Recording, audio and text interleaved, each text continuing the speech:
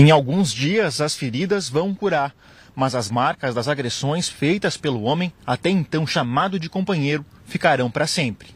No começo foi bem tranquilinho, os primeiros primeiro mês, dois meses. Aí eu comecei a observar que ele bebia demais. Cada vez que bebia ele se transformava. A própria irmã dele me chamou um dia e me disse assim: Olha, quando ele beber, tu não contraria ele, porque ele fica muito agressivo.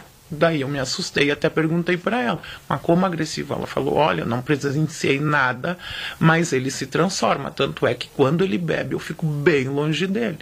A vítima acordou alguns minutos depois no sofá. O agressor estava com uma faca na mão. Restou a ela gritar por socorro. Gritei, gritei, e a mãe dele, que mora no mesmo pátio, chegou correndo e ela só gritava: Não faz isso, filho, não faz isso, não faz isso. E daí ela e o namorado que ela tem também conseguiram puxar, puxar, puxar ele. Numa dessas horas puxaram ele e eu consegui sair correndo desesperada. Nesse momento, a mulher conseguiu fugir da casa do agressor com quem tinha um relacionamento há sete meses. Ela correu pelas ruas do bairro Jardim Algarve, em Alvorada. E como era noite, conseguiu se esconder entre alguns carros que estavam estacionados. Até que a polícia e alguns familiares chegassem para socorrê-lo. Tinha passado por isso.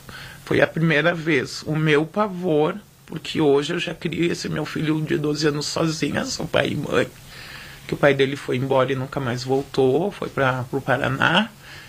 E muito grande o pavor. Nossa, eu tô assim, ó. Eu tenho uma dor que, além de ser por dentro, é toda no corpo e, sim, psicologicamente, nossa. Hoje, a mulher que preferiu não se identificar está de cabeça erguida, com uma medida protetiva contra o ex-companheiro.